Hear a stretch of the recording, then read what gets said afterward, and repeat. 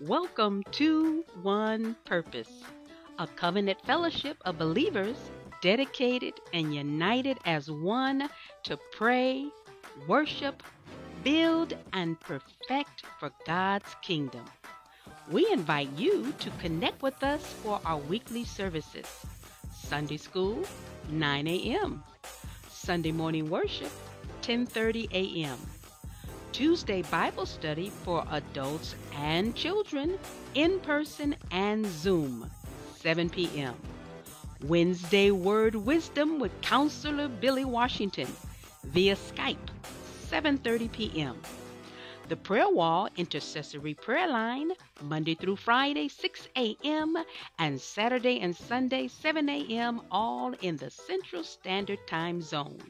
For more information, visit our websites. Thank you for choosing to fellowship with us in one purpose.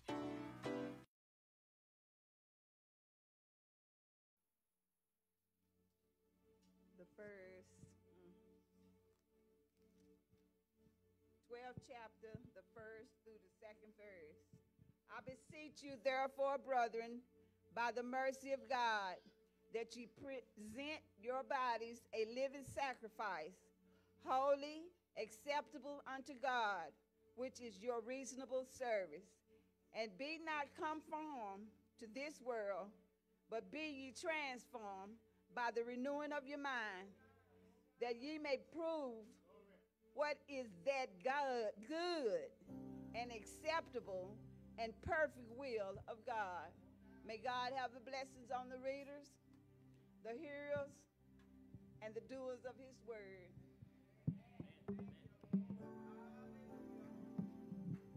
Bless the Lord. Bless the Lord this morning, saints. Ooh, we serve a mighty God. Amen. Matters what we see, what we hear. We still have a God that sits high on the throne. And he looked down on us to let us know that all is well and everything is well. Amen. The Bible says those who sow in tears will reap in joy. It's okay to cry. It's okay to cry because God is going to bless you. Get it out. Crying is a ministry. We got to we got to come from the from the bottom, from the back to the up and to the front. Amen. And we can't be we can't be stagnated by those things that have already come to pass. Amen. So we're going to ask the praise team to come up and get y'all up out those seats and get you to screaming and hollering up in here. Maybe some of you might take out and run, huh? Yeah, we need some running up in here. Amen. So, praise team, all of y'all that are in here, come on. We'll take what little bit we have because I sure can't do it by myself. And we're going to bless the Lord with our praise and our worship and our songs, our hallelujahs and amens. Don't be afraid. The devil can't do nothing to you that God don't allow. Amen.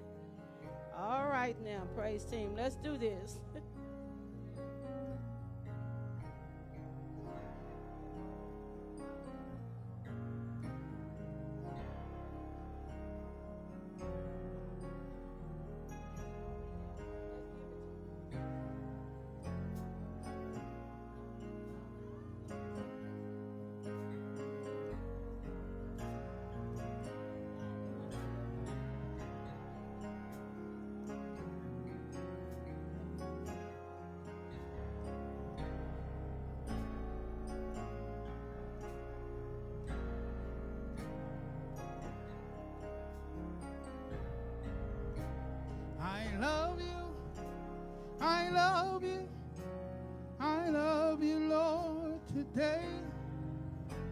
Because you care for me in such a special way. And yes, I praise you. I lift you up. I magnify your name. That's why my heart is filled with praise. I love you. Say, I love you. I love you. I love you, Lord, today. Because you cared for me. Because you cared for me. In such a special way. In such a special way.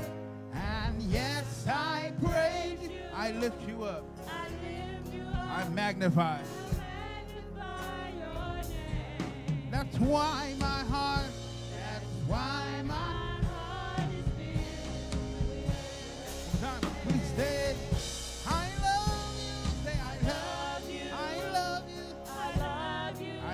Lord, today. I love you, Lord, today. Because you cared for me Because you care for me in such a special way. in such a special And way. yes, and yes, I, praise you. I lift you up. I lift you up. I And magnify. I magnify your name. That's why my heart Why my heart is filled with praise. Next part my heart and my mind. My heart, my mind, My mind, my soul belongs. my soul belongs to you. You paid the price for me. Paid The price for me. Way back on Calvary. Way back on Calvary. And yes, I praise you. I lift you up. I lift you up I magnify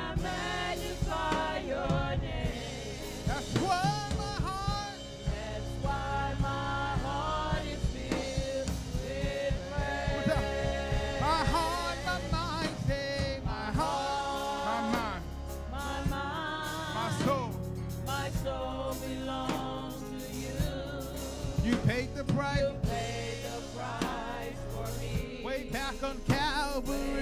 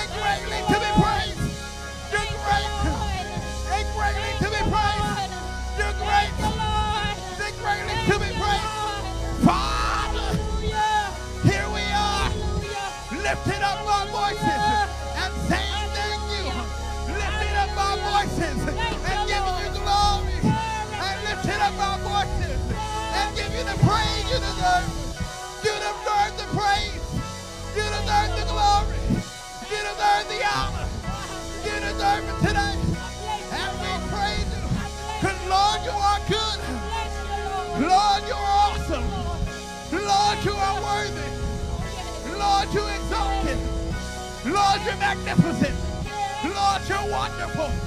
Lord, you're awesome. Lord, you're omnipotent. Lord, you're the Alpha and Omega, the beginning and the end. God, we praise you. We give you glory. Despite of what's going on, we say thank you in advance. We say thank you, Father. Thank you, Father. Thank you, Father. Thank you, Father. Thank you, Holy Ghost. Thank you, Holy Ghost. Thank you, Lord. Thank you, Jesus. Thank you, Lord. Thank you, Jesus. Thank you, Lord. Thank you, Jesus. Thank you, Lord. Thank you, Jesus. Thank you, Lord. Thank you, thank you, thank you. Oh, thank you, thank you, thank you. Come on, you to open up your mouth in this place and give a great praise. Come on, you may not go know what's going on, but I need you to praise in advance. Come on, go into war for real quick. Come on, the enemy's trying to attack our bodies.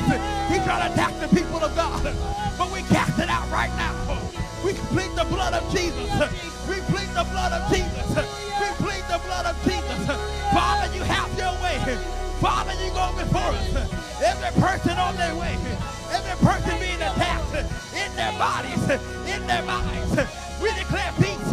We declare peace. We declare healing right now, Father. Healing right now, Father. We come.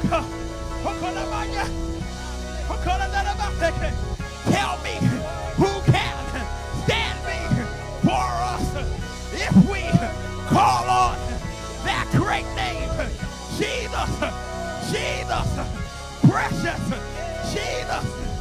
We have, we have the victory. We have the victory.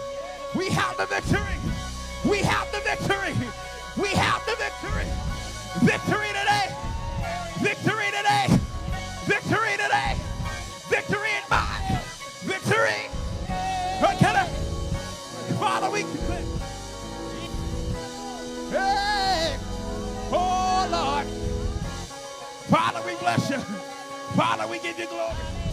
Father, we bless you. Father, we give you glory. Father, here we are. Say thank you, Father. Thank you, Lord. Thank you, Lord.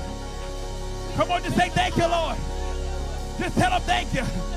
Tell him thank you. Tell him thank you. Tell him thank you. Tell him thank you. Tell him thank you.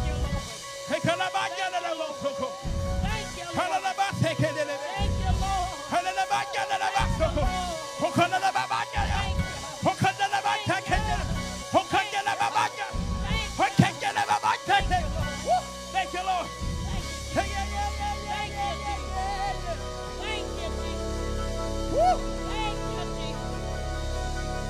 do as my mother do. Minister Tasha, Elder Latasha Butler, we call you right now.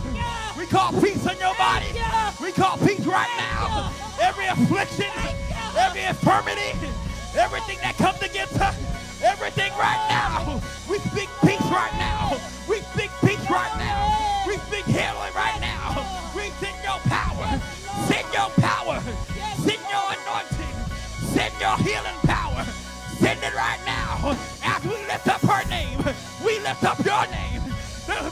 above all names. We put you right now. We put our name on the altar. We pull everybody on the altar that's been attacked. We didn't call it out right now. Every infirmity, we call it out right now. You can't have your people. You can't have it. Devil's a liar. The devil, you are a liar. You are defeated.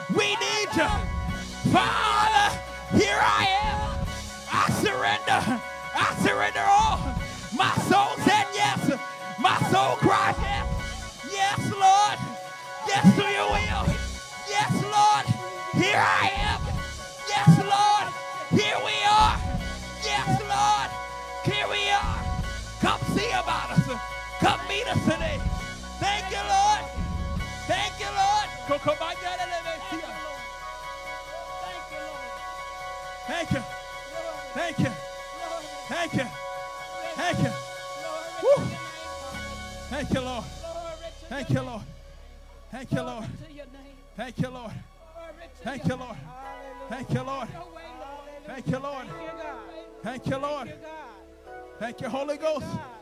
Thank you, Father. Thank you, God. Thank you. Woo. Thank you. What a mighty God we serve. Hallelujah. Hallelujah. What a mighty God we serve. What a mighty God we serve. We're at that service part where we welcome you, our platforms, YouTube and Facebook, and all of you that are here. We welcome you this morning. Welcome into the house of the Lord. Now we're going to greet our brothers and sisters.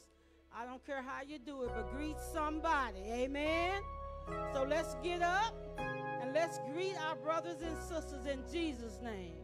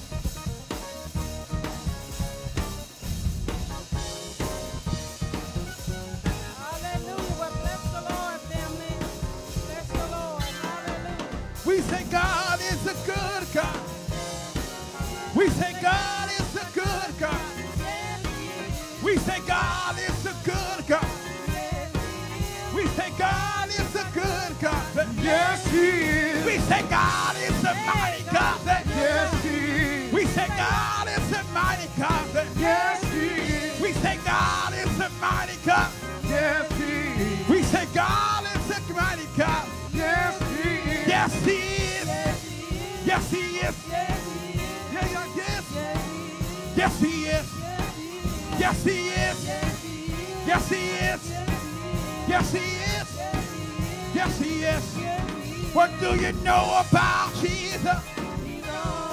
Do you know about Jesus? Do you know about Jesus? He's all right. What do you know about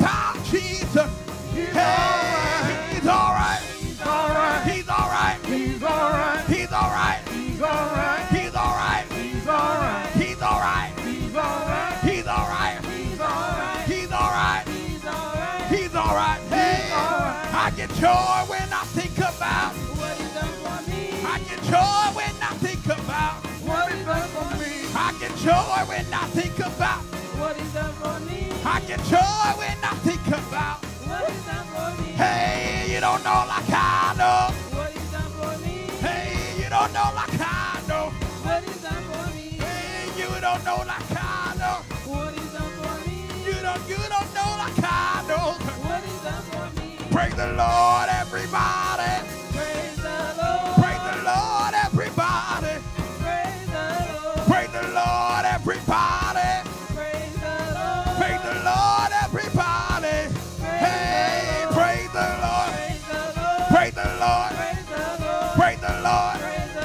Praise the Lord. Clap your hands. Clap your hands. Clap your hands. Clap your hands. We say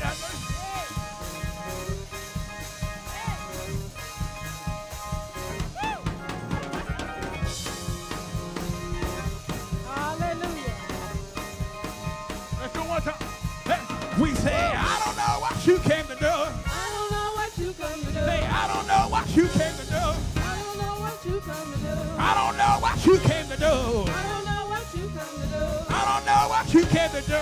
Hey, but I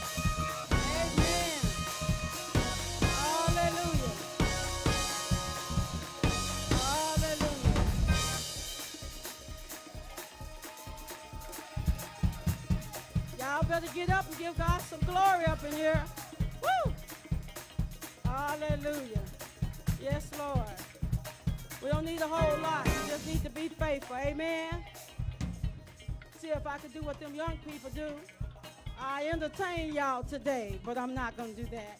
All right, we are up to the announcements. Thank you, guys. God bless you. God bless you. Woo! We serve a mighty God. We serve a good God. And if you don't know it after the election, you going to know. Amen. Woo! Bless the Lord. right, you're going to know, baby. So if you don't have a prayer life, I encourage you to get started. As I tell the young people back there in the back, any situation can become a prayer. Okay? If you walk on, what, what is the where's, where's legend? Where is the scripture? Mark 9 and 23 legend. What's the scripture? What does it say, man? Well, well, bless the Lord. Woo! Hey, if you can believe it and you pray it, no doubt God will work it out for you. Because nothing too hard for him. Let me get on with these announcements before my secret come out. All right. We're not having children's church today. You got to see after your own little bitty ones today. Amen. All right. Tuesday night Bible study, 7 a.m. in person and via Zoom. Wednesday, Word of Wisdom, 7:30, with Counselor Washington via Zoom. Our upcoming events, ladies, are y'all ready?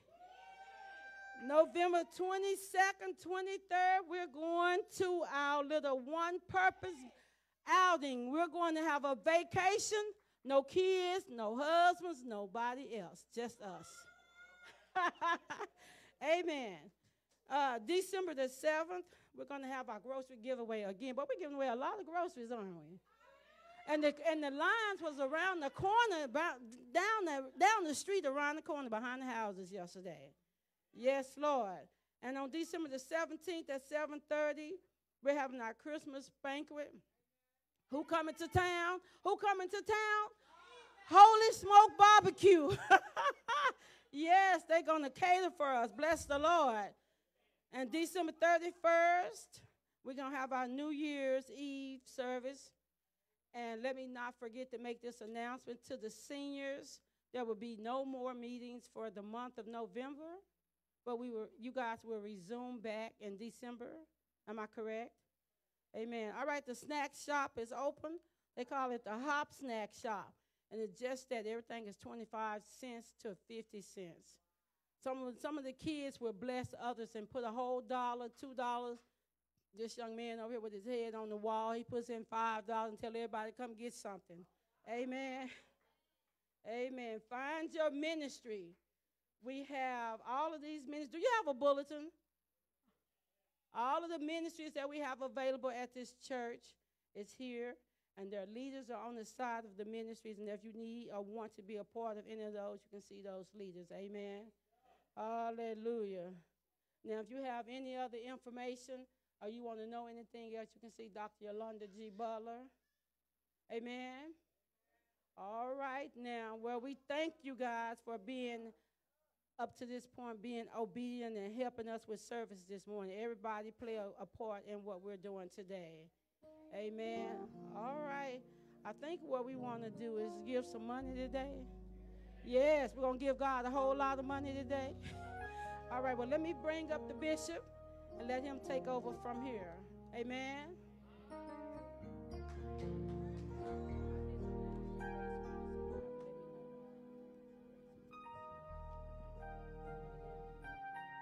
Okay, so before Bishop speak, I want to talk to you about the grace winners. We have uh, first place. We have, I think it's Kiara, Kiara Williams, Willingham, Willingham, Willingham. Come get your money. Yes. We have the uh, Simmons and the Willinghams that battle. Uh, and then we have Shania Simmons, second place. Is she here today? I give this to you. And then Kyra Williams, third place. I mean Willingham, ten dollars. All right. Come on, let's give the Lord a hand praise. Amen. Thank the Lord for our young people. Amen. Participating. It sounds hollow. You got to adjust that for me. Amen. We just thank God for God is good. Amen. We thank the Lord for those who came out today. Amen. Just keep my daughter in prayer. They had to rush her to the hospital this morning. That's why my wife and them are not here. She had allergic reactions. They said she's doing good. Amen. But we thank God. Amen. so the enemy is always trying, but amen. But that's why you always got to be battle, battle ready. Amen. As a child of God, you got to be always battle ready. Amen. It don't shake us. It don't. It don't. It don't bring us in the place of of of being nervous. Amen. Amen. This make us work hard. It just make us more determined. Amen. To push the kingdom of God. Amen. So we thank God, amen. I thank God, amen, that He that He is still working and He's still in control of everything. Amen. So we thank God for that. So, amen. It is offering time. Amen. Offering time. Time that we're able to sow seed into ministry. A time that we'll be able to give. God has blessed us, amen, to be able to sow seed. We thank God that God puts a seed in our hand so that we're able to put a seed in the kingdom. That when you put a seed in the kingdom, God will be able to put more seeds in your hands. the scripture says that if you he gives seed to the sower, and he said that he may give more seed, that God may give you back more and more seed, that you can give more and more seed. So you stop the process of how many seeds come by when you start, even when God bless you with more seed, you keep more for yourself. But if you keep sowing the seed, God will keep increasing you. Amen. That's his law. The law of the, of the law of sowing and reaping, amen. God has already established that. All right. If you're a farmer and you have a farm and you plant three rows of corn, that's all you can expect for harvest. But next year, you say, Well, I got more seeds, I'm gonna plant six rows. You done doubled, amen, what you had. so, amen, eventually you have a whole acre, amen, that you plant. And then two acres, you keep increasing. Now you just don't have enough to feed your family, but now you have enough to sell that you can bring in. Ah. And so that's why God wants to give us more seed, that we will have more seed to sow, that He can put more resources back into our hands. amen. God wants us to be able to, amen. He wants to take care of all of our needs, and He wants us to be able to be a channel to be a blessing to others. Amen. And so God wants us, so He's put this in, in operation. So I don't care where you at. Amen. I've lived through this, amen, for years. Amen. That we lived through it when we had lean, didn't hardly have anything, but we never, we never had bad credit. We never had, we never was late on anything because we knew how to sow seed. And because we sowed seed, God always, amen, provided seed for us. Amen. We, we put ourselves in that position. Amen. Because when you believe the word of God, you will operate the word of God. See, believing the word, faith has to have action behind it. If there's no action, that's not faith. Hello. So when I believe it, I will act upon it. So when I believe the word, I will act upon it. And that goes in every area of your life. You've got to believe the word and act upon the word. And when you believe the word and act upon the word, then you obligate God to do what he says. You can never say, God, amen. You can never say, God, you give. God, you haven't blessed me. God, I need this and I need that. But if you haven't done your part, huh? God said, if you give the tithe and the offering, He said, see, prove me, try me, see if I won't open up the windows of heaven. God waiting on you. Hello, somebody. So when I do what I'm supposed to do, then I can go to God and God has to do it. Because one thing God can't do, He cannot lie. And God, that one thing, He said He sent His word. When He sent His word, it don't come back to Him void. He said that He watches over His word to perform His word. So if God said all of that, that means if I find it in the word and I put the right application to it, I obligate God to do it. Because once he speaks a word, he is held captive to his own word. See, God ain't like us. We can say, yeah, yeah, Pastor Walker, I'm going to give you a $1,000 and then never give it to you. But if God said, I'm going to give it to you, he's obligated to do it because he ain't a liar. Hello, somebody. And so, because God is not a liar, I can put confidence and trust in his word. I don't have to see him to believe him. I don't even have to feel nothing to believe him. I just believe what is written. Amen. Paul said, I'm persuaded. uh, you got to realize I'm persuaded. When you are persuaded by the word of God, amen, even in the most dire situation, you don't, you don't, you, you, you don't get nervous. Amen. You don't fall out and have a panic attack because you know that God, amen, is going to back up his word. Amen. He didn't say that the enemy, I wouldn't feel his breath on my neck. He didn't say that he wouldn't come up against me. He just said he can't prosper. Hello, somebody. Don't mean that I'm not going to be in the ring with him. It just means that he can't beat me. Amen. We thank the Lord. We're getting ready at this time. We ask that you would stand. Amen. The ushers will lead you from the rear after we pray. Father, we thank you for this time to be able to sow seed in ministry. We thank you for your word. We thank you for your blessing. Father, we thank you for the privilege to be able to give. God, we thank you, Lord, that you have given us resources to give. We thank you for the job. We thank you for the health and strength. And Father, if it wouldn't have been for you that made provisions for us, then God, we would not have anything to give. So, God, we thank you that you keep the roof over our head. Lord, we thank you that you provide food on our table. God, we thank you that you give us, amen, money to, amen, to even own our car and drive our car and pay for the insurance. God, we thank you because everything we have is because of you. So, God, we're going to do as you said. You said if we will give, you will cause men to give back unto us. You will cause them to do it with good measures. You will make them press it down, shake it together, and you will cause them, amen, to run over. You will make them give unto our bosom. So, Father, we thank you, amen, for your word. In Jesus' name, amen. The ushers will lead you at this time. Amen.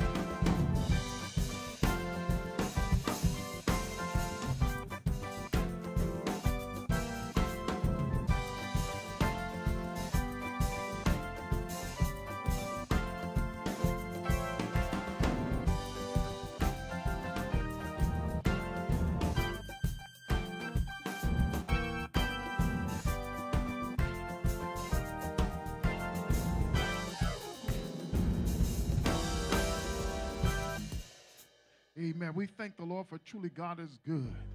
Amen. Let's give the Lord a hand praise. Just give him one good praise. Give me one good Shabbat. Hallelujah. Hallelujah. Amen. Amen. Amen. Thank the Lord, amen, for amen. Our musicians, we thank God for their faithfulness, being committed. We thank the Lord for them. Amen. Thank the Lord for Pastor Washington and Amen. And First Lady Washington and Rose of Sharon Ministry. We Thank the Lord for Pastor Walker and First Lady Walker. Amen. She's out there working and, amen, half a arm and half a leg, but she still was out there working and working and working. Amen. We thank the Lord for them and the repair of the breach. And we thank the Lord, amen, for my wife. Amen. She's at the hospital with my daughter. And we thank God for Praise Center. Amen. God is awesome. We're going to go right to the Word of God this morning. We'll go to the book of Ecclesiastic. Amen. We're going to go to Ecclesiastes 3:15. When you have it, just stand to your feet that we'll be able to proceed as a sign of reverence to the Word of God. Amen. The most precious thing to the believer is the Word. The most powerful thing to, in the world is the Word. And so, therefore, when something is great, you honor it. Amen. You honor it by, amen, standing, amen, to it. President walks in the door, I don't care who you are, you're going to stand up. If you're in a court of law, I don't care how bad you are. I don't care how many life sentences and how many charges they got. When that judge walk in, you're going to stand up on your feet. Amen. So when the word of God comes forth, we stand, amen, as a sign of reverence to his word. This one verse we're going to deal with today. Amen. In Ecclesiastic, the third chapter, verse 15. And the word of the Lord reads, that which has been is now, and that which is to be have already been. And God requires that which is past. I'm going to read from a, uh, the NLT. It says, What is happening now has happened before, and what will happen in the future has happened before. Because God makes the same thing happens over and over again. Amen. Tell your neighbor as you take your seat, say, neighbor, I don't know about you, but I'm living in the past. I'm living in the past. it's going to make sense in a little while. I'm living in the past. you know, we, we have a saying, sometimes you can look at people and you say, man, they stuck in the past. I mean, how do you know that people are stuck in the past? Because he meant the way meant the way they talk, they still talk and use slang from the past. The way they wear their hairstyle, they still wearing Jheri curls and mullets, still wearing beehives, amen. So you say they just stuck in the past. They still wearing what they dress. They still wearing, amen, polyester, amen, suits, amen, with big wide ties, amen. They just stuck in the past. Amen. Some people, amen, you can see, amen, they age because their car is almost old as them because they just stuck in the past. Have you ever met somebody stuck in the past and everything that come out of their mouth is back in the day? I remember back in the day. They stuck, amen. They, they can't, you can't really relate to them in the present because they always tell you back in the past, back in the day. but the thing is, I have to admit, I'm stuck in the past too. There's certain things that I still do. Amen. Amen. I still, amen, I still like my suits to be three quarter length. I don't like that short, skinny stuff. Amen. I, I'm still stuck in the past. I still believe that a man can live with one woman for his lifetime. I'm stuck in the past. I still believe, amen, that, amen, that we that I still believe in old time holiness and the old landmark. Yes, I'm stuck in the past because, amen, I know that God, amen, that God, amen, is a God, amen, that never changes. The thing we've got to understand is that we've got to understand that God, amen, wants his people to get to the place that we learn how to be stuck in the past. I'm going to get you there. Amen. You've got to understand. But what I want to submit, amen, you've got to understand that God is trying to get us someplace. And we're looking for some new revelation, and we're looking for a new word, and we're going from this church and that church, and running from this preacher to that preacher, only to find out there's nothing new under the sun. God, I've got to get you there. Amen. As we look at life, over the span of our lifetime. Amen. We can see how our life, we have seen multiple changes because the world is considerably, constantly advancing. I remember the telephone. And back in the day, I remember that the telephone used to be on the wall. And, and you had, and if you wanted to talk in your room, you had to have a real long cord and you had to drag it all through the house to go to your room. I remember that even we had a rotary dial, so you had to go five, seven. It took you about 10 minutes to dial a number. And if you messed up, you had to hang up and start all over again. And then the telephone got advanced and we went to push button. And then we got more fancier, and then we went to answering machine. And if you was driving down the street and you had to call somebody, you used to have to pull over and go to a telephone booth, amen, and put 25 cents in to make a call. Amen. But now, amen, it has changed. We got these little things that we put in our pocket. It can go everywhere we go.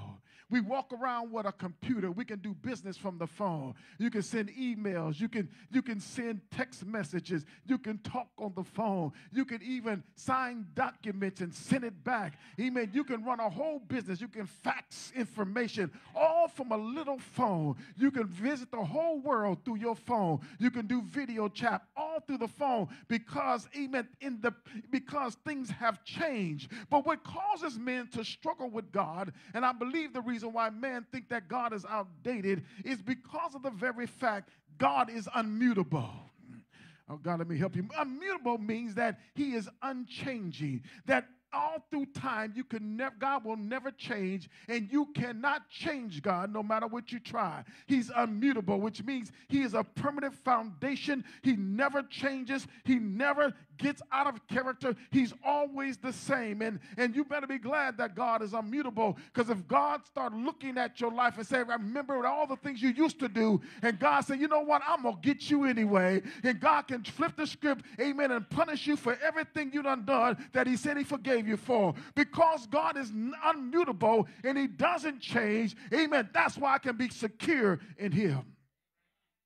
Amen. That's why when you look in the back of Malachi, amen, when in the sixth, chapter, sixth verse, when it says, For I am the Lord and I change not. Therefore, ye sons of Jacob, you are not consumed. Amen. That is powerful because he says this just before he gets you ready to deal with tithes and offering. He says, Look, you sons of Jacob's. He said, Because I'm immutable, because I do not change, I have not consumed you, which means I didn't kill you. I should have killed you because you stole from me. You stole the tithe, you stole the offering. And the reason why I'm not going to take you out because I do not go back on my word, because I made promise with your dad, your grandfathers.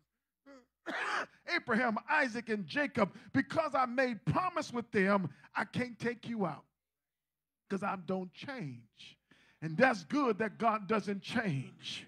Amen. Because God, amen, if He says something, that's what He means. If He said, if you trust Him, amen, He'll be there for you. If He say He'll never leave you nor forsake you, I don't care how dark it get, He'll never leave you, forsake you. I don't care because God never changed. If God said He can walk through the valley of shadow of death and you don't have to fear no evil because He gonna be there to protect you, then you can walk through the valley of shadow of death. You can break that to the bank. God ain't gonna get scared. God ain't gonna run out on you. God ain't gonna forget you. God's gonna be there because because God does not change. Our current events are namely a replay of what has happened previously. So we think it's current, but it's something that already existed before. Let me help you. In other words, it's just like we said, man, it was a we had a bad storm to come through, a hurricane came through, but we have been having hurricanes. Huh? You said, well, it was a bad earthquake and it it killed many, but we've been having earthquakes. There's nothing that we see in today's society that haven't already happened before. Amen. Because the thing is that God says that I require the past.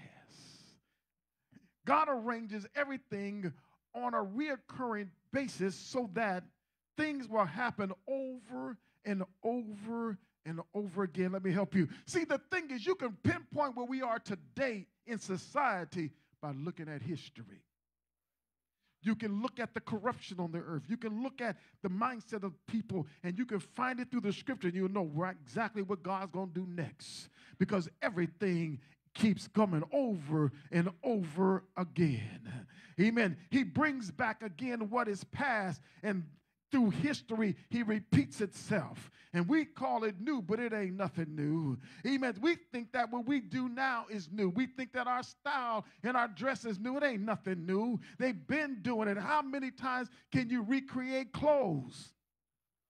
You might can change colors, but all these colors always been in existence. He meant you can't do, you can change style, but it's a style that's already been. You got, I mean, you got pants, you got a dress, you got a skirt, you got a blouse, he meant you got a jacket, you can only do so much with it. Huh? It's nothing new. These skinny suits ain't nothing new. We used to wear them in the 70s. It's nothing new. Amen. It's no new style. Amen. It's all just recreates itself over and over again. When you look at life, what is, amen, when you look at life, amen, what is it to conquer that hasn't already been conquered? When you, when, amen, when you, when you, when you look at discovery, what has not already been discovered? Huh? It's, it's, it might be new to you, but it's already been done. There's only the fight to recover what has been lost And when you find it, even to get lost, you find it again. That's all that we can do because it's already been in existence. So the scripture says that God requires that which is past.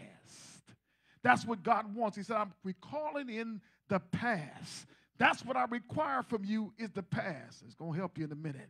Nothing is now that is not, that has not always been, amen, is now always been. In other words, it's always been existence. And what and what is and because it exists today, it has to take, it has to give credit to the past. Everything that you have now is because past, the past has already created it. And all we doing is reventing what's already been created.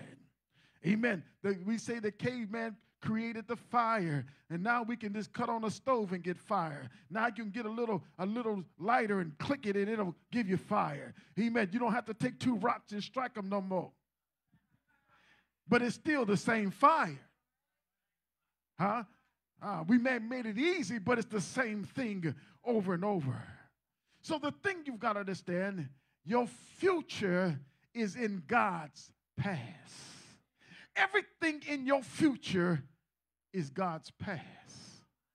And I'm going to help you. Uh, that's why a visionary has a hard time getting people to catch up with the vision because it's his past. You got to understand that you are visionary. You got a vision for your life what you want to accomplish, where you want to be in five years, that in 10 years, when you get 60 or 50, you say, I want to retire. You got a vision. But it's hard to get people to catch up to the vision because it's your past. And because for them, it's something new. And you know, people don't like change. So now the visionary who's living out something that he already been dealing with in the past, amen, in the future is past for him. And now he's got to bring you to the place, amen, of, of change. And you don't want to change because you know people don't like to change. And so you don't want to change, but it's new to you, but it's old to them. the inventor, excuse me, the inventor, inventions are out of his past. And once the inventor invention is manifest, it's his it, to him is just past things that he already came up with. So, what you have to realize is that your past is waiting for your future to catch up to it.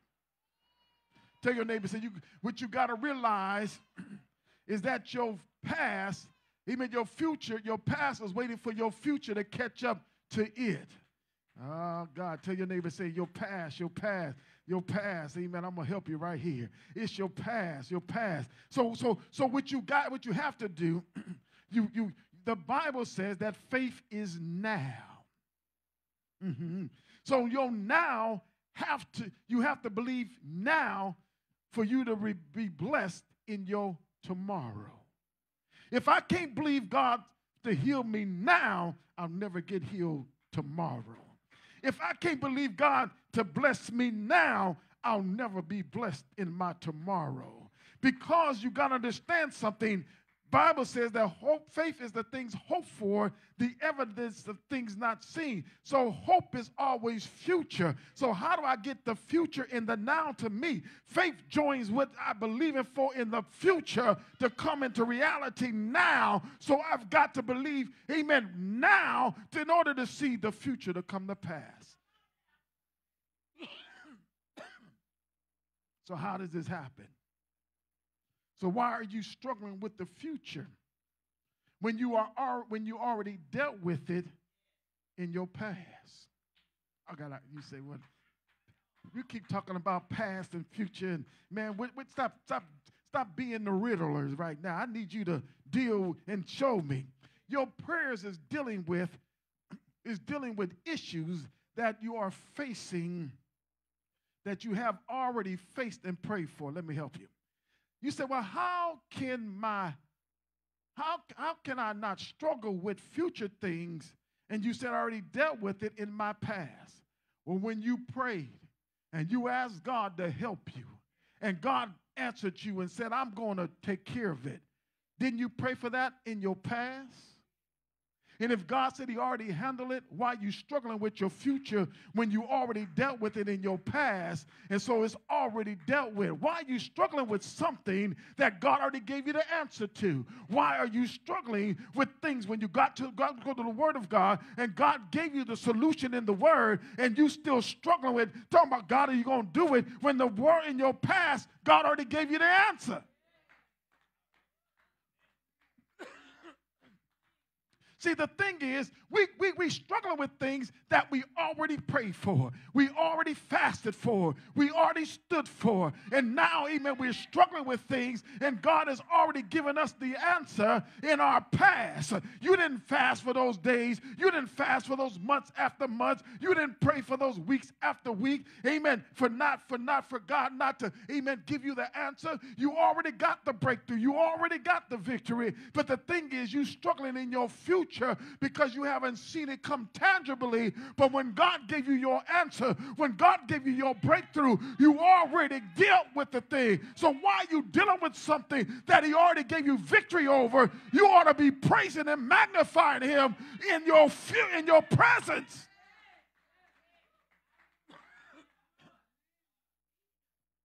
So therefore, you already dealt with it. Tell your neighbor, say it's already dealt with. So, how do I walk in victory? By getting, how do I walk in victory? By getting your mind renewed by everything that was spoken over your life by God. See, if God already spoke destiny over you, then you've got to renew your mind to what God spoke because you got to realize you're living in God's past. He told you that, amen. Then you know that God, he, when He calls you into ministry, if He calls you to do something, He called you to do, He called you that in your past. The thing is, you got to catch up to your past.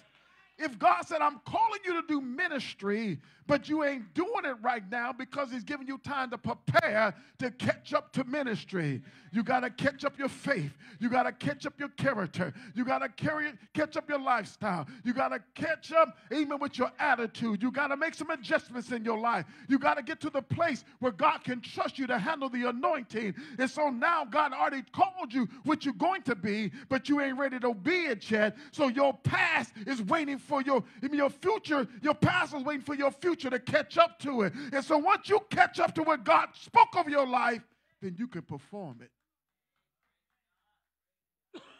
the thing is, we have not caught up with our past yet. Ecclesiastes says it like this in 1 and 9 and 10. The things that has been, it is that which shall be. And that which is done, that which shall be done and there is no new thing under the sun. There is anything thereof. In other words, God said, There ain't nothing new. I'm just waiting for you. God has been waiting for man all through history to accept his son. God been waiting all through history for man, amen, to be obedient. God been waiting for man to trust him, amen, all this time. And when God saved you, he saved you to be a believer, not a doubter. He saved you, amen, to be, amen, to be his child and not to reject him. God has called you to be his, and we struggling with things because situations pop up in our life which change our destiny, which change our, point on God. And God already dealt with it in our past when he saved us by the the blood of the Lamb. God had already gave us victory in the past, and you still struggling with stuff that you already dealt with. 1 Corinthians 10 13 says, There have no temptation taken you, but such is common to man. But God is faithful, who will not suffer you to be tempted above that which are able with the temptation also make a way of escape that you may be, be, be able to bear it. So I must believe God's word. I must believe God's past work to help me get through my present now. In other words, when I why you think God left his word on record to give you his past resume? See, your resume is your past, your past body of work. So when you go for a new job, they say, that one a resume. You got a resume? They want to see what you already accomplished. They want to see what you already have done. They already want to see what your skill set is. And so what they do, they'll call your past employer to get, amen, information. Was they a good employer? Was they on time? See, it's your past, amen, that handles your future. And so now, amen, they dealing with your past. And so the same thing here, that God, amen, you got to believe in God's past work. In the past, God, amen, brought you out when you didn't have nothing. In the past, God healed your body when you were sick. In the past, amen, God answered your prayers when your kids was acting crazy. In the past, amen, when you called upon the name of the Lord and God responded to you. In your past, when you look at God's past work, amen, it should be able to handle anything that comes in your future because in the past, God did it. And if God did it in the past, He said, I'm the same yesterday, today, and forevermore. I handle your yesterday and I'll handle your today, and down the road, I'll handle that too, because I'm the God of the past. And so God said, What I'm requiring of you is the past. I need you to tap into the past. If God did it in the past, He'll do it right now. If God made a way in the past, He'll do it right now. If God worked a miracle in the past, He'll work a miracle in the now. So I got a resume, I got something to stand on. So when it looks impossible, Pastor Washington. I stand on the past results of what God has already did in my life. Tell your neighbor, say, go back to the past. If God answered you in the past, if God worked it out in the past, if God comforted you in your lowest moment in the past, if God turned it around in the past, He'll do it right now.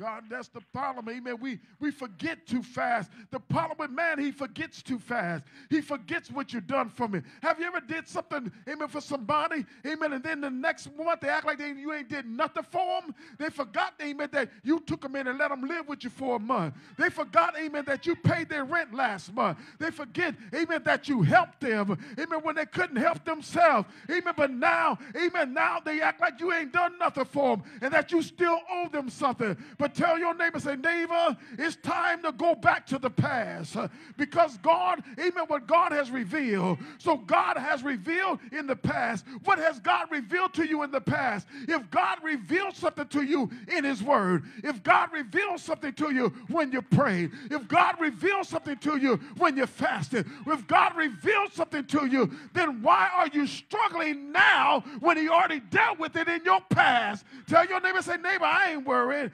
Amen. You know why I don't get worried? Because I already know that God already dealt with it in my past. God already made a way in my past. That God already worked it out in my past. That's why I didn't have to struggle with was this church coming up. Because God made a promise, amen, 40, 38 years ago in my past. I just had to hold on to the word. That's why I wouldn't get discouraged. That's why I wouldn't give up. Because I had a revelation. I had a word from God. And I want you to know that God has given you a word, and you've got to stand on that word. God has given you a word. Why you giving up? Amen. If God gave you a revelation of what He's going to do in your future, it's no need for you to be fretful now because it's in your past that He already gave you the answer to your now.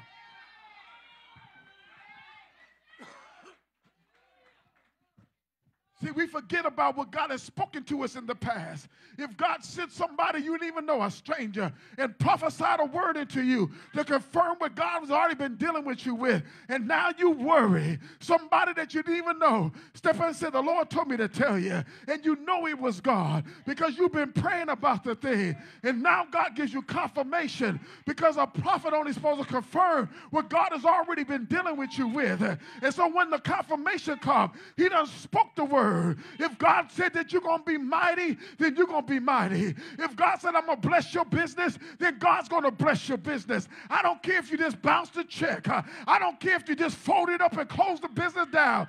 That, amen, you're going to be a successful businessman, a successful businesswoman one day because God done already spoken to you in your past. Did you forget that God said he was going to handle the thing that you're dealing with? Did you forget that God said, I'm already going to heal you? Did you forget that God said, I'm going to save them children? Did you forget that God said, don't worry about it? Go to sleep. I got it handled. Don't you know that God already dealt with it in your past? That's why I can have joy unspeakable right now. I might not have 50 cents, but I'm not worried about it because God said He gonna take care of me. And if God gonna take care of you, you ain't got to worry.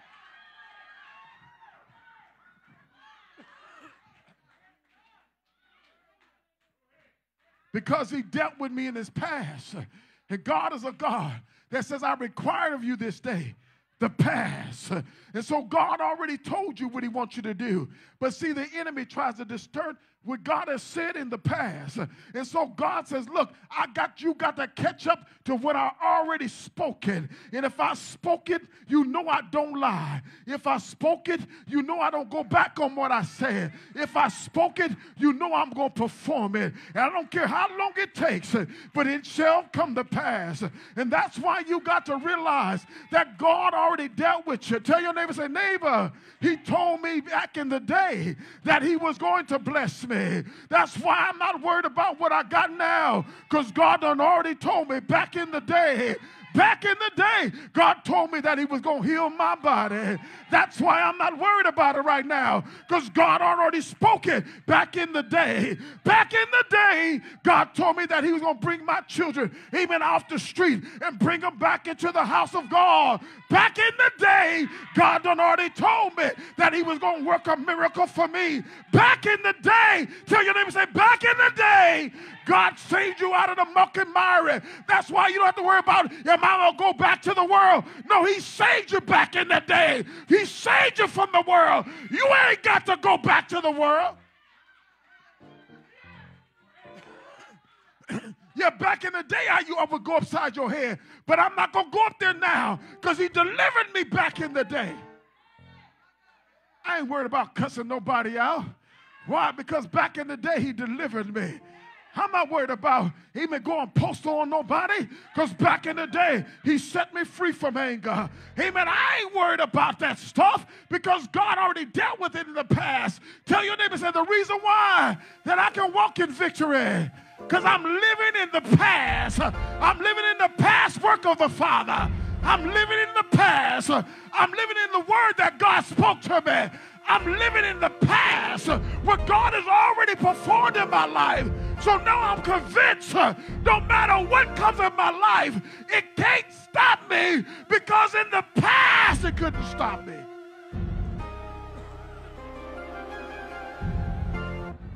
The problem is with us. We live in the past of the negative.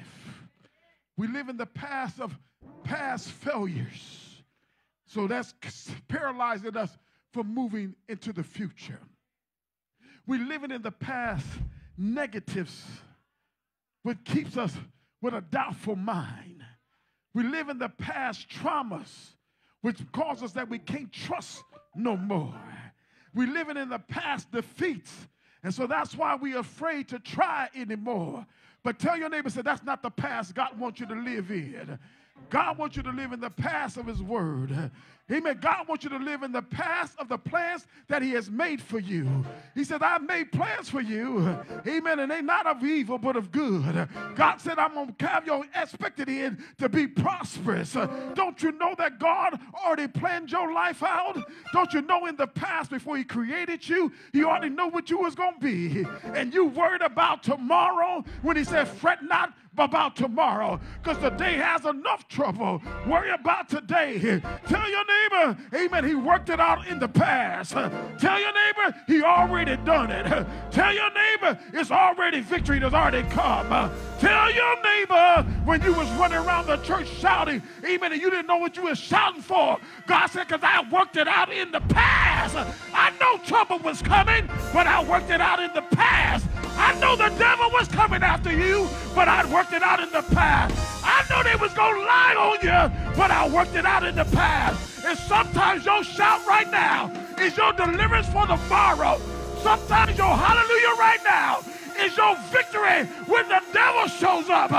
Tell your neighbor, I already praised him in the past for my victory right now.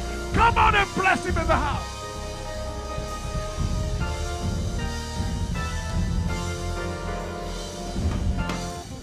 I'm living in the past. When I look at this program, I'm living in the past. When God gave me this back over 20 something years ago, when I began to write the dream, the vision, when I began to write it, it's on the back of the program. And when I begin to write it, that's my past. I haven't caught up to everything yet, but that's my past. So, what keeps me going? My past. What keeps me moving forward? My past. What keeps me from getting frustrated? My past. What stops me? What keeps me from not stopping? My past because I know I can't leave here yet because I haven't finished my past yet. I know I can't stop yet because I haven't completed the past yet. That's why you guys worried about stuff that God already spoke over your life and you haven't fulfilled none of it yet. And you talking about I don't want to die. You ain't going nowhere because you haven't fulfilled the past yet.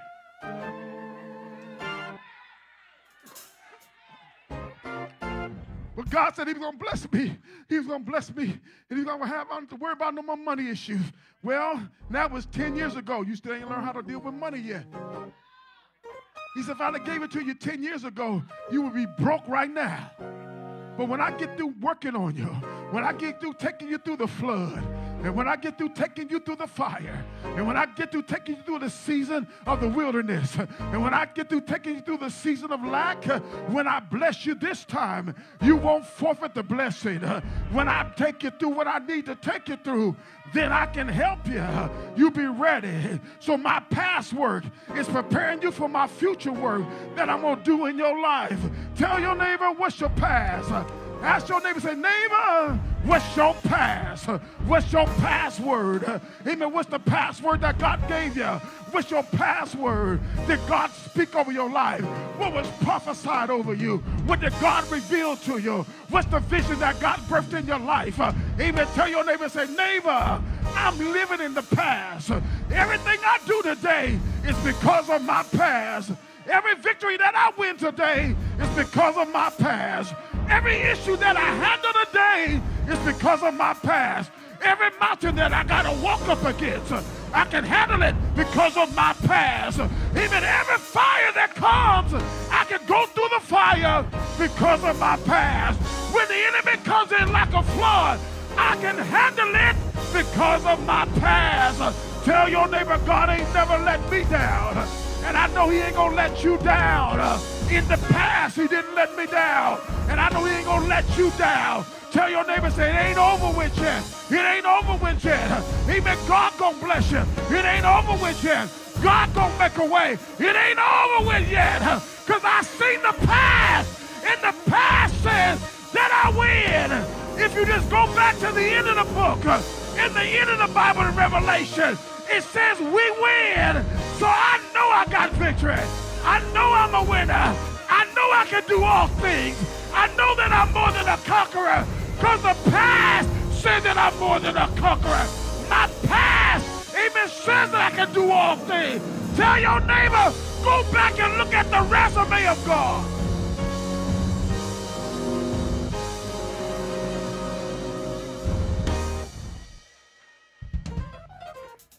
We've got to look at the resume of God. Tell your neighbor, say, your past, your past. It's your past that God's dealing with. So God already formed your life. He already spoken over your life. And then he already gave you vision. And he already gave you direction. And so he starts you off. See, let me help you out. God is a God of completion. So whenever God shows you something or God speaks something to you, it's in the completed form. You see the finished product. So when God speaks it, you say, Well, God, I've seen you. I, it was this and it was that. And Lord, all the people and all this. Then he said, Okay, there it is. That's the vision. He backs you up. He said, Now get there. See, he spoke it here in my past. And every time I make a step, I'm going from what he said there to get me there. Because that's my past. But that's what I'm going to get. That's my past. But I'm going to obtain it. I might get hurt along the way. But I won't stop because the past said I'm going to have that. I might have some obstacles and some devils that fight against me, but I'm going to get there because my past said that's what you're going to get. And that's where God is trying to get you. He's trying to get you there. It's between the promise and the well, between the promise and the victory that you get stuck in. Because you forgot the past. What did God tell you? What did He tell you? Then why are you worried? Why do you think when you read the Word of God and you're going through something, or you just be reading the Word, and it seems like the Word jumps off the pages, and God begin to reveal what that means, illuminate it to you. You know why He what He did that for? For a reason. That becomes your past mark. That when that situation arises, you already been illuminated to the Word to go through the issue, to go through the challenge because God done revealed it to you. And we worried about stuff that we don't have to worry about. We worried about people, and God said, Don't worry about him that can kill the body, but worry about the one that can kill the body in the soul. You shouldn't be worried about people, you should be worried about God.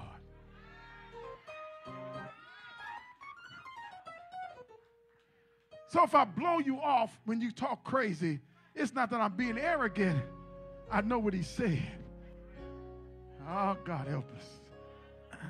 I can't let what you say stop me. And even when you can't catch the vision, and even when you don't understand the vision, I can't let it stop me. You think that everybody jumped on board for this? When we started off, see, let me show you how God worked. We was on Alta Mesa we had a building with another 3,000 square feet, almost twice this size. And because of circumstances, the people left and we had to downsize. Said, we're going to go to the school. We ain't going to try to keep this note up. We're going to go to school. We went to the school and rented it. And then when we was getting ready to leave, I said, we're going to, the first Sunday, I said, we're going to start, we're going to buy some land. And I said, we're going to start a 36 month seed. $36 for 36 months. We have people, I'm not, I didn't say I was going to do that. Everybody didn't get on board. Did that stop me? You know what I told the leaders? Don't leave them alone. I have folks that leave because of it. I said, leave them alone. Because I had the vision. I know what God told me in my past.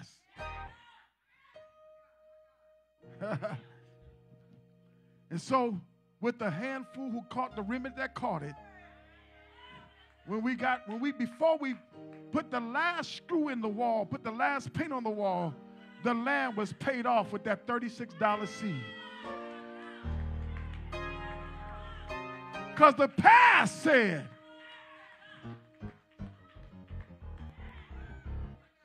Tell your neighbor, say, you need to go back and check your past. That's why you need to write down what God speaks to you. When you when God gives you dream, when you dream, you need to write it down. When God spoke a word to you, you need to write it down. When the word becomes illuminated, write it down. So that when you get into that tough place, you can go back to your past and you can reassure your future going to be all right. Why? Because God said, I require the past. I demand the past to come back. So I ain't worried because God made me promise. It's things that God promised me I haven't seen yet. I'm not stopping because I got to see it first. Amen.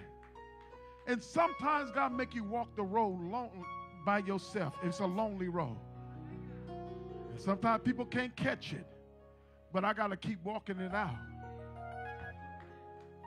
And I got to walk it out not for me, but for their benefit, even though they can't catch it. Hello, somebody. See, because I know where the future is going. If you can't see it, I don't. The future is going. And thank God. I thank God for everybody here that God bless you, got a roof over your head, that you got transportation, that you got a job and you eating and got a few dollars in the bank. Because it's the homeless rate is growing by leaps and bounds. I was looking at something on YouTube the other night, and it just reinforced what I got to do by building these homes, these tiny homes. First, it was two different YouTube. The first one was a lady and her husband was homesteaded. They had they had bought 50 acres in the desert of Arizona, and they lived in Ohio. And they built a barndominium out of metal. You always hear me talking about metal buildings. they was getting themselves debt, they was debt free. And they was getting ready to live off grid. But the, on 10, and the other 40, they was getting ready to build a, either a tiny home village and rent it out. They're going to live off of that. That's what we got to get to. We got to live Amen. We say, I don't want, I want my privacy. You can live in your house, they can live in your house. You living by a bunch of people you don't know now. They don't even believe. They mock your God and you live with them every day. But if we can pull together, so that inspired me. I said, Lord, I got to get this done. Amen. For my personally, for my family. The second thing was a lady, was she was in California. She was a she was trying to be an aspiring actor and she was working multiple jobs and she lived in Inglewood, California. She was in 2017. Well, the Rams, amen, the Rams, amen, was going to, they was going to build them a new stadium to come back to LA. Because they was in LA before and they left and went to St. Louis. And then now they're coming back. So they needed a new stadium because the Coliseum is old and it's out of place. It's out of date. And so the developers got word of it and they bought up all the property around it because they knew it was going to be valuable. And they didn't have no rent control. So the rent went from one place up to for one bedroom up to like 35, like $3,000. So now she finds herself homeless, working every day, and she's homeless. And she tells the story how she's in this shelter. She said, I, I never knew, I didn't, I never imagined myself living in this shelter. And when I sing that, it was another young lady. She had a bachelor's degree. She was working three jobs, and she was going back to school to get her master's, and she was in the shelter. Like that, it could change. That's why you hear me talk about tiny homes. Lord, bless us with some land because I know the day is coming, but I want our people to be prepared that we will have something to help. And not just the church, but we got to help the world. We can't help everybody, but we can help a few families. Because the world gonna get worse, y'all. Let me help you.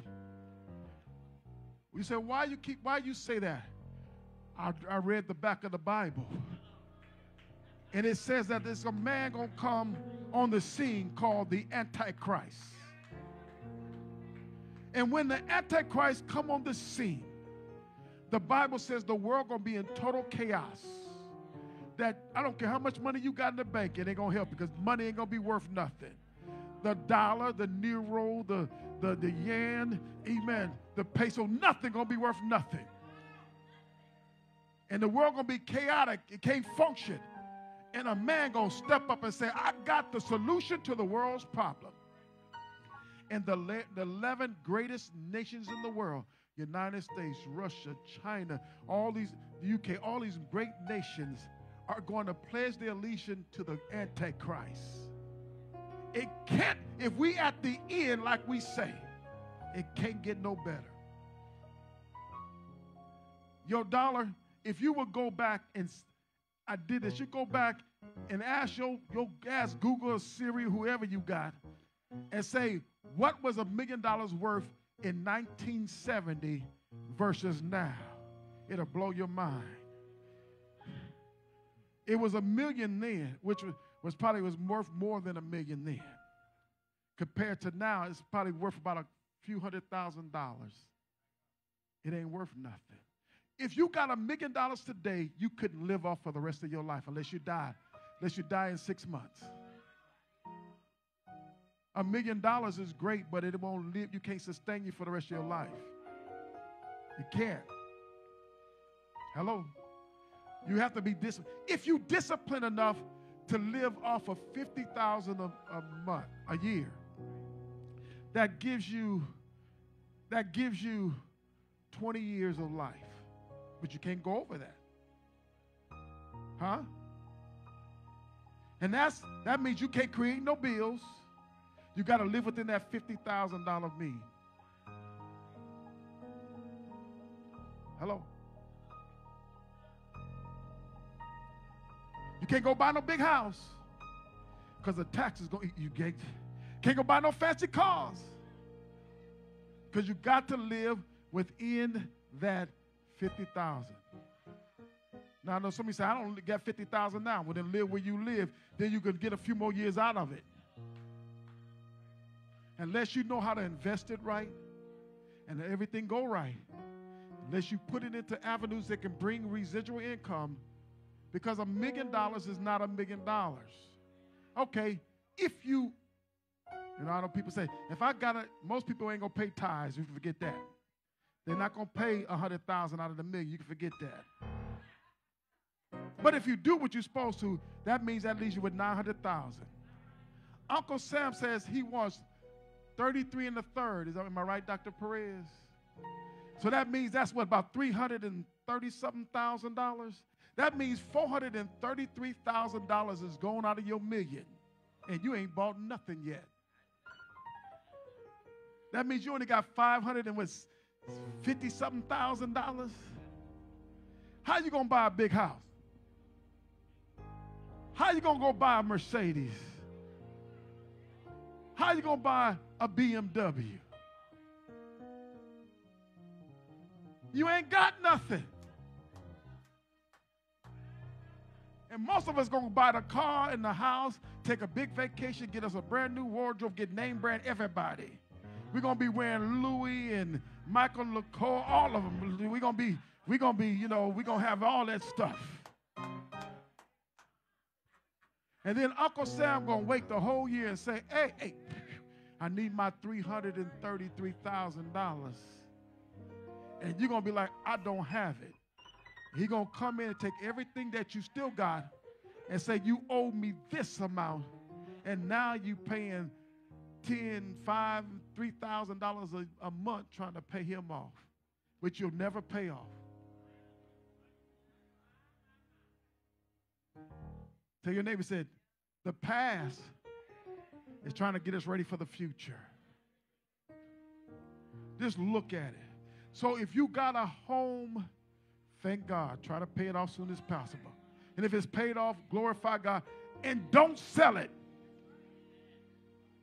Don't get tipped about the cash. You need to set up your family, your kids for the future. The reason why black people never transfer wealth or we never get wealthy because we all got to start from scratch.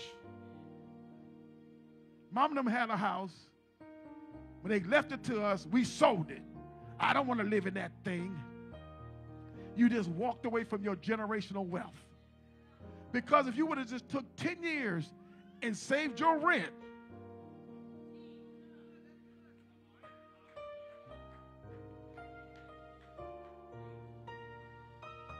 Then you could have bought another house. You have two, you have a house, two house income. Then you can buy, rent a house. You got the house you're living in, and then amen, you build your you build your wealth off of what you're gonna pay for rent. And you ain't gotta, you don't have to have a great job, you just gotta have the right position. And so if I if we can teach that to our kids. But see, we don't take them to the bank and teach them how to give, how to save. We just, they, you want them tennis shoes, they $300. Mama gonna get it. You ready to tell that boy you're gonna get some Payless? Well, Payless ain't exist anymore.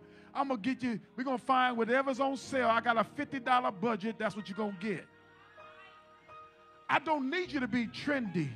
I don't need you to be trendy. I need you to get some knowledge in your head. I'm gonna stop right here. We had a we had a guy that I grew up with lived next door. He was older than me. And this and his his nickname was Cotton because he was always sharp. He he walked around, he didn't work. He walked around with slacks and shoes. And He was clean all the time. But one day it ran out. The women stopped taking care of him. He never had a car. He walked everywhere. But he was clean. But what happened to him, he started living on his mama's porch. He was standing out begging for a quarter, a dollar, 50 cents. He died on his mother's porch from the weather.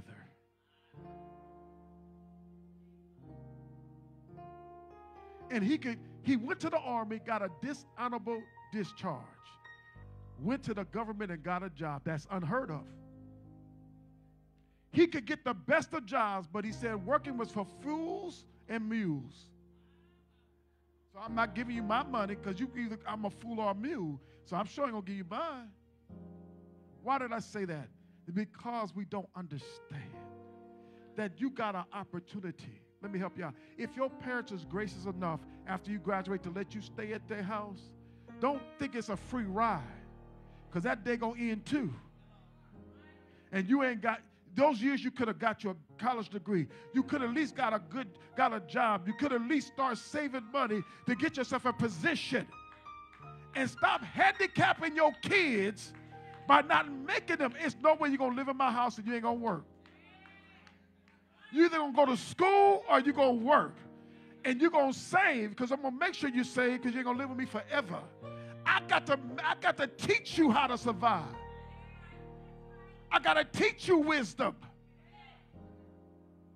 So giving them everything, we say, well, I didn't have what I that's but it but it made you what you. That's why you got what you got, because you didn't have it. But you give them everything, you spoil them, and they ain't gonna want nothing. They gonna, they're looking for a handout all the time. Learn from the past. Learn from the past. Saints of God, that's let's position ourselves. We need to get in we need to we need to come together and, and, and, and make some investments together. Amen. And I ain't talking about you giving a whole lot of money, but that's purchase a piece of land and, and, and get it developed and, and get some income coming in. We, we, need to, we need to stop being so divided. The families can't even come together. I want a big house, but what I need a big house for, and my kids ain't got a house. Let's get a piece of land and put enough houses for everybody to live on it. I'm, I'm done. I'm getting off my soapbox. I'm meddling now. I done got away from the past. I'm because uh, I don't want history to repeat itself. Some of us are struggling right now because of bad decisions. Hmm. We have, yeah, since I've been here, I never heard so many people lost land that was given to them because they didn't know the value of it. Because they thought it was just in the sticks somewhere. You, you guys know Colleyville, right? You know that Colleyville was owned by all blacks? The whole city was owned by black people. It was farmland. Colleyville is like Beverly Hills now. It's million dollar homes, multi million dollar homes. The black folks sold the fortune, didn't know it. The kids sold it.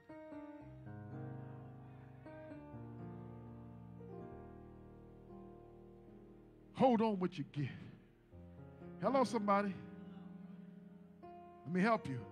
There's to be more people to be living off grid. Don't laugh at them folks. You better learn. To be more people living stealth. You know what stealth living is? To live stealth. You know what stealth means? It means to be to be there, to be undetected. You know, like we got the stealth plane that they, the radar can't get it. Well, to live stealth means that they even live in a van or a truck or something, but it just looks like a regular van, but they park all over the city living there and people don't know. They do that because that way they can't be, the police won't run them off. So they might get a U-Haul truck and, and they convert it into a camper in the back so they can park it anywhere, not a big one, but big enough to live in. Or they might get a might get one of them sprint vans and they turn it into and they can live anywhere in the city without paying rent. They got the bed, they got the kitchen, they got everything. You think I'm go to YouTube and look that up. You're gonna be surprised at how many women are doing that. We got women that's living in cars, trucks, and they travel the whole country by themselves. They live in, that's how they live in. Hello, somebody. This is real. I take time to tell you stuff like this to, to keep it on your mind. If you got kids, let me help you. Do this. And you got something to leave them, don't give it to them. Listen to me. Let me finish my statement. Put it in a living trust. And you specify, because you know they bad with money, don't give them the money. Not all at one time. You give it to them so much a month. So he said, Well, I got enough money to keep them living for 20 years. You give it to them over a month. If it's 500 a week, that's what you give them. Don't give them the, don't give them the, the $500,000. They ain't gonna have it. If it's a house, you put it in a trust, you cannot sell it. You can rent it, you can live in it, but you can't sell it. And have the trust to make sure that the taxes is paid so they don't lose it. One day they're going to wake up and see, man, I'm glad mama left and she did it. Like first I was mad at but I know now. So you got to help them be wise. I'm going to say this. I know I keep saying that, but I'm going to say this. This is it for real. This is it. I had a nephew. His grandmother passed, his great grandmother. He got about $280,000 cash. He has a house that she left him was worth about five, about six or seven hundred thousand. In less than about a year, he couldn't pay the taxes on the house.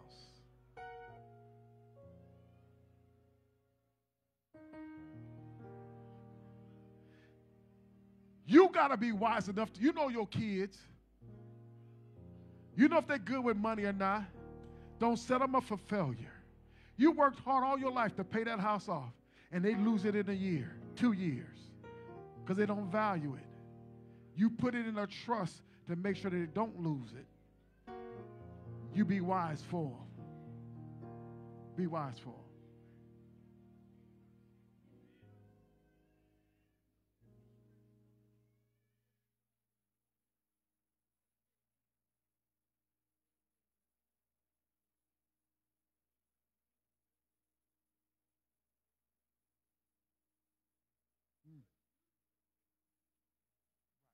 So you got to make them beneficiary of it. But see, the beneficiary can only do what you what you what you tell it to do. They can't step. I'm the beneficiary. I can take. You can't take it all. But you got to make them the beneficiary of it. And don't get the one who's crazy.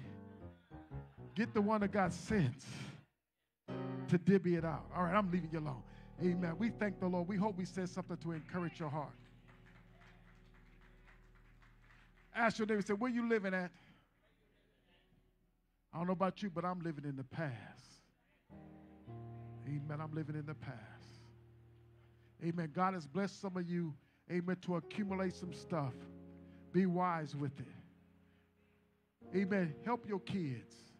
Help them for real. Amen. Help them for real. Amen. Teach them the value. Amen. It might be someone here, this, before we go into communion, might need to know Jesus and the pardon of your sins. We would like to give you that opportunity. If you hear and you say, I want to get this right with God, I want to give my heart to the Lord. Amen. If you hear, I would like to give that opportunity. I'm going to pray, Father, in the name of Jesus. I pray, Lord, if there's anyone at the crossroads of decision, that Father, that the Holy Spirit would draw them. Because no man can come unto you unless the Spirit of redemption draws them regeneration. So, Father, I'm praying, Holy Spirit, that you go and move on that heart and bring them to the place of safety. As we ask in Jesus' name, amen. If you hear and you say, I want to get it right with God, would you just lift your hand right where you are? Say, I want to get this together with God. Amen. Is there one? Amen. We, we thank the Lord. Amen. We thank the Lord. Well, we're going to open up the doors of the church. It might be someone that want to become a part of the membership. Amen. We would like to give you that opportunity. Amen. If you're here and you want to become a part of the ministry, just lift your hands. Amen. I'd like to give you an opportunity. Amen. Well, we thank God for truly God is good. Amen. We're getting ready for communion at this time. Amen. We're going to move on. Tell your neighbor, say, neighbor, don't move away from the past. Live in it.